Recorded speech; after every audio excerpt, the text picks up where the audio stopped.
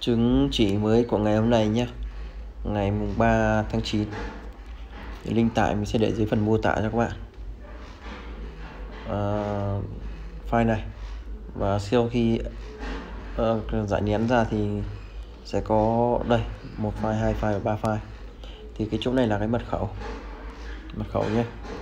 Cái chứng chỉ này giúp các bạn cài uh, những cái ứng dụng bên ngoài lên iPhone không cần dùng đến máy tính cài trực tiếp luôn ví dụ như đây mình đã cài được eSync này. Thì đây. À, vào cái trang này để cài. Đây, các bạn cứ tìm cái eSync file.ipa này. Các bạn nhập vào đây.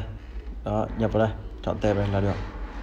Đó xong nhập ba nhập ba cái chỗ tương ứng người này này vào của chứng chỉ vào nhé.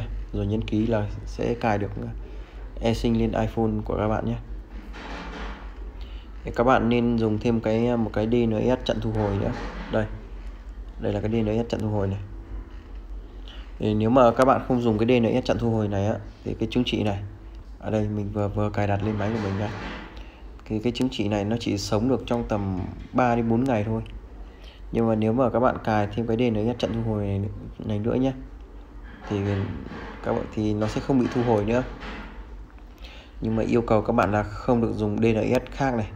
À, không được dùng VPN này không tân nguồn iPhone này đó. Thì uh, cái DNS này nó có cái một dòng chặn quảng cáo hai là không chặn quảng cáo thì mình khuyên các bạn cứ chọn là không chặn quảng cáo cho nó đỡ bị lỗi nhé. Rồi các bạn cứ để như nguyên như này các bạn dùng thôi. Đây sau khi mình cài được eSIM lên iPhone bằng cái trang web này. Đây. Bằng bằng cái trang web này nhé. Mình đã cài được lên iPhone thì các bạn lại phải nhập nhập cái chứng chỉ vào eSIM nữa nhập cái chứng chỉ bài sinh nữa. Nhập vào. Nhập như này đây. Tìm được cái chứng chỉ này.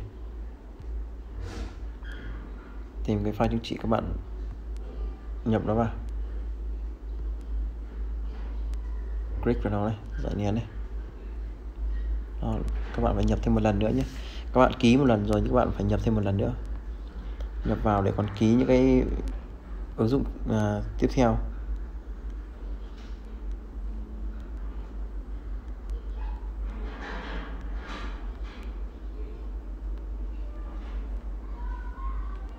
Đây nhập thêm cái file còn lại. Rất là đơn giản. Đây chỗ chứng chỉ này. À, chứng chỉ này. Hạn của nó à, 14 tháng 1 2024 nhé cũng là được mấy tháng nữa.